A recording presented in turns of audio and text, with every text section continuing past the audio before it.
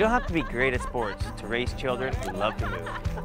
Whatever kids choose to do in life, physical literacy will help them. And it's a gift that every parent can give their kids. I'm Tessa Virtue. And I'm Scott Moir. And we are Active, Active for, Life. life.